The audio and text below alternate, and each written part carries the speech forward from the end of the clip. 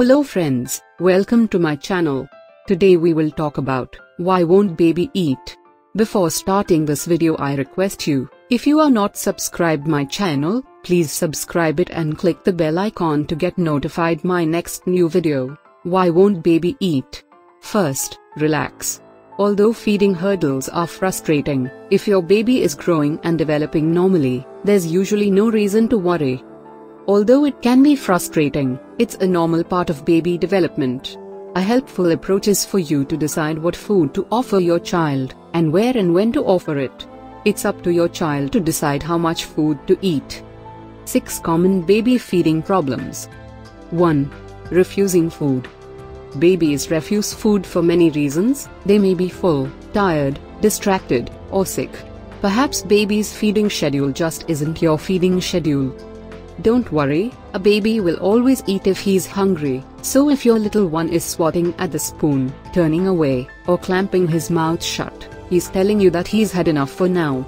Just make sure your baby is being fed healthy foods and junk foods are not filling him up earlier. Try to trust that your baby knows how much food he needs, and never force feed your child, which can turn feeding time into fighting time. That said, if a refusal to eat has you worried, always talk to your pediatrician. 2. Avoiding new foods. Just about every child goes through a period of rejecting new foods.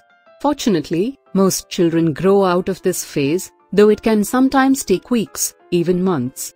Help your baby accept new foods more easily by making sure the new food looks similar to a familiar favorite, for example pureed carrots and pureed sweet potato, or mashed potatoes and mashed sweet potatoes. Then, starting with very small portions, gently offer the new food to your child three times during a meal. If she refuses, don't overreact, just move on to something you know she likes. Try offering the same food at another meal. 3. Fussy baby, picky eater. It's the lament of many parents, my baby is a picky eater. There are many reasons infants may be finicky about food. They may be teething, tired, not yet ready for solids, or just don't need as much food as you're feeding them. Familiar foods provide your baby comfort in stressful, busy times. Although picky eating may linger a while, it rarely lasts. 4. Gagging. Most babies are ready for solid foods between 4 and 6 months, but a few may find solids hard to handle in the beginning. The result? Baby may seem to gag during feedings.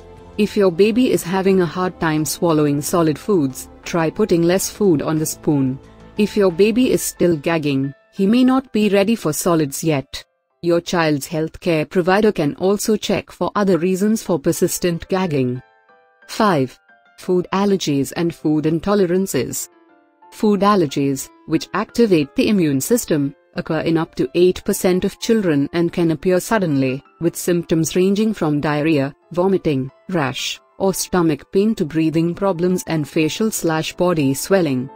The most common food allergies among children are to milk, soy, eggs, wheat, nuts, and shellfish, although kids and adults can be allergic to any foods. 6. Spitting up, reflux, or vomiting. Spitting up seems to be a nearly universal occupation of babies. The good news is that spitting up tends to fade as babies reach their first birthday. You can reduce the chances of your baby spitting up by burping him regularly, avoiding overfeeding, keeping baby upright as you feed him, and avoiding playing with baby immediately after eating.